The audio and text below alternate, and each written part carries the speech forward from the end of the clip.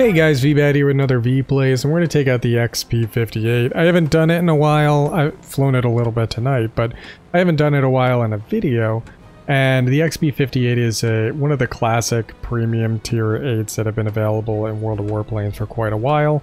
It's essentially a giant P-38 Lightning, but instead of having 50 cals with a 37, they just went all 37, so it has four 37mm cannons in the nose, and then some 50 cals in the tail. I'm going to go ahead and add that F2 key on the mine because we're going to need that.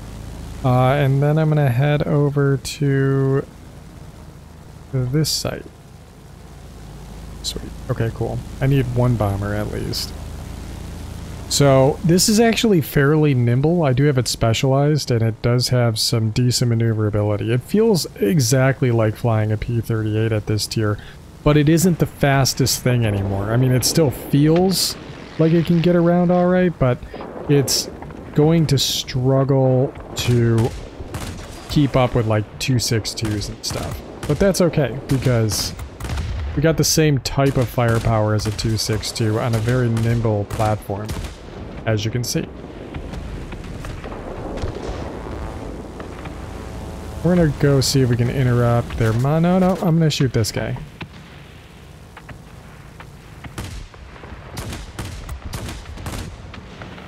Hey there, young feller.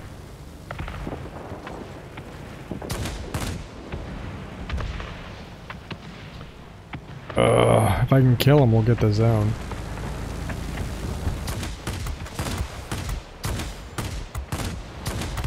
There we go.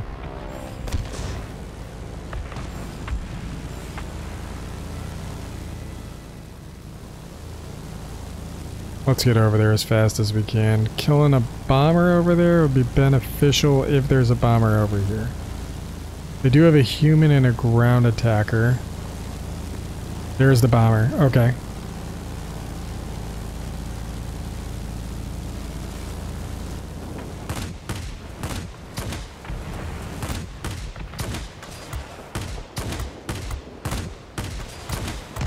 Oh, just a second too shy. Alright, that's alright. P51. Let's dive on him.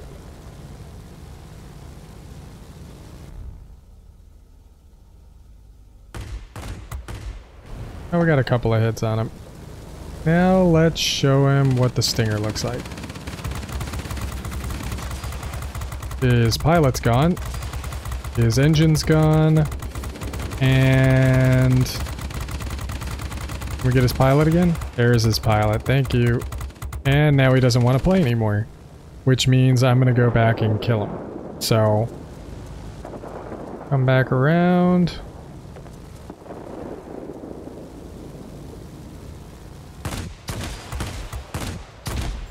Big old hits. Let's go intercept the ground attackers now, because one of those is a human. And I don't want him to... Oh, oh, oh, oh. You know what? Getting the mine's important. Very important. Let's stop this typhoon.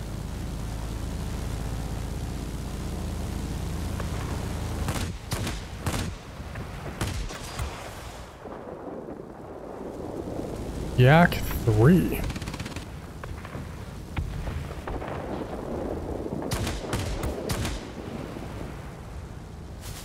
And there's the P-51 again. Interesting. He's going for it again.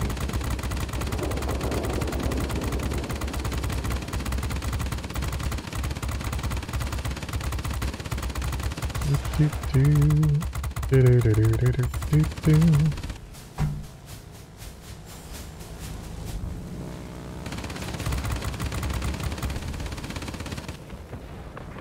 While we're doing that, let's go for the J4M here. Cool.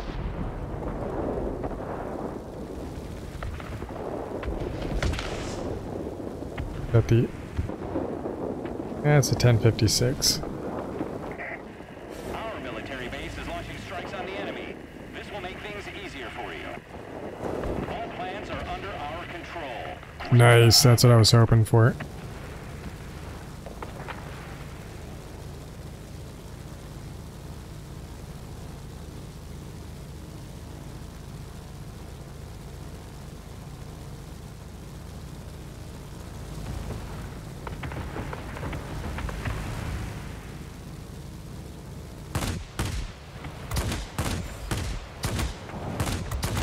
There we go.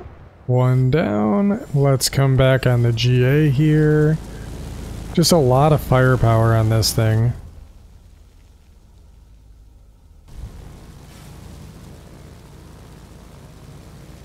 Alright, Avery, you, you can have him. The enemy is launching rockets at us from the military base.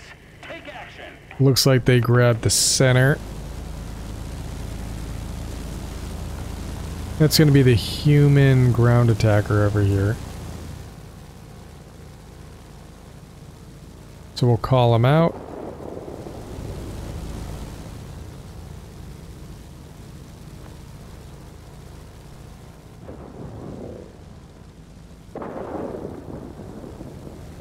Alright, Beavis, I see it.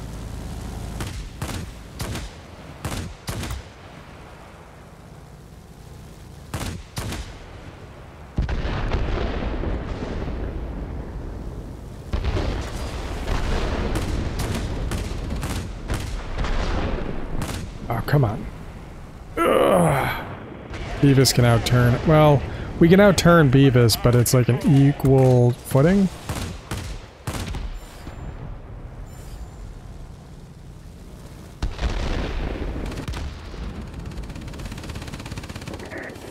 Hang in there.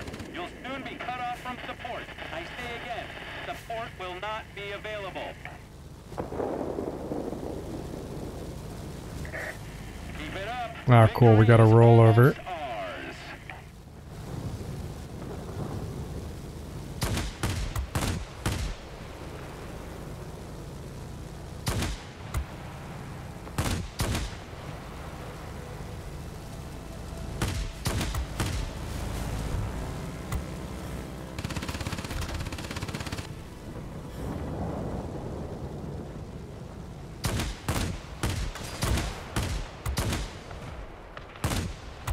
There we go. Get all four to hit. No to break through for you now. You're on your own.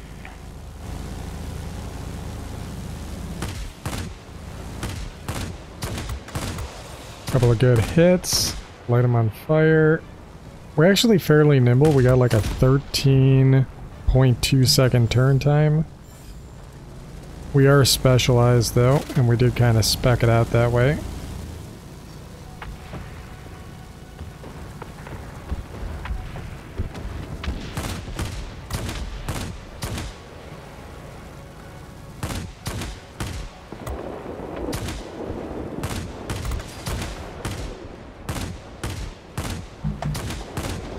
Come on.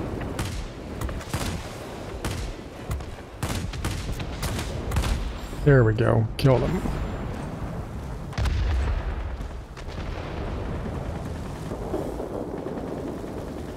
Ooh, losing the mine's gonna hurt, but I think we'll be okay as long as we can keep the center in control. Okay. Yak 3. Oh, nope. That's it. We're up the GG. Managed to pick up a McCampbell. 13,880 personal points. A lot of just very generic flying right there. And far surpassed both teams for overall personal points, but we're also playing heavily to our role. Intercepting, bombers, multi-rolls, ground attackers. Uh, it does have the firepower to be able to do that. Sometimes it's a little bit temperamental because of the way 37s kind of behave, but with the ability to kind of kit it out for a maneuverability build, and it's still retaining some level of altitude performance. It reminds me a lot of the P-82 Bravo, but with big old honking cannons and a bit more altitude instead of having some ground attack capability. And if you're not sure what I'm talking about, I'm talking about this airframe as the other Tier 8 American Premium Heavy. And this thing is featuring a, well, sorry, 12.5 versus a 13.2, but it's still a very nimble heavy fighter. But the altitude performance is still going to be that like 8,000 plus, while you're looking at a bit of a sacrifice for the P-82 Bravo. And it, does carry air-to-ground ordnance, and while it only has 50 cals, uh, it still gets out a decent amount of damage at 728 damage per second, but this gets it just a little bit with 816 and we saw some really good hits when all four of the 37s made contact on the enemy aircraft. They have a pretty decent rate of fire and a respectable range. It reminds me a lot of a 262's gun behavior, but on a much more nimble platform, which means that you can really get some solid hits out there. The airspeed is also very solid airspeed. You're talking about like 500 miles an hour. But if you were to compare it with, let's say, a German tier 8, like a 262, the 262 is going to have it beat hands down with like a 578 miles an hour with a similar specialized configuration. So really, you are going to get the guns from the 262, but you're going to borrow some maneuverability from the P82 Bravo, and you also get a fairly decent tail gunner in the form of these dual 50 cals. And these dual 50 cals are pumping out 128 damage per second.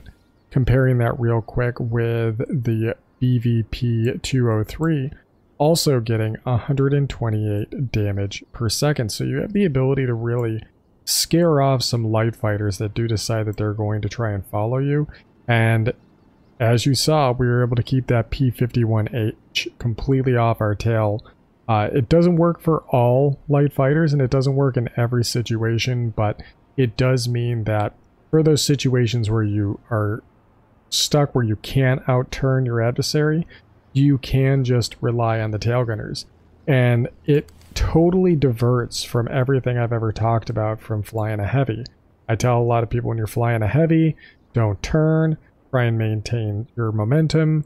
But with this aircraft, you can turn with a target and finish it off, and it will still allow you to be able to do that, and then is very forgiving in the sense that you can use the tail gunner to kind of beat people off your tail. So hopefully you guys enjoy the video, taking a look at the XP58.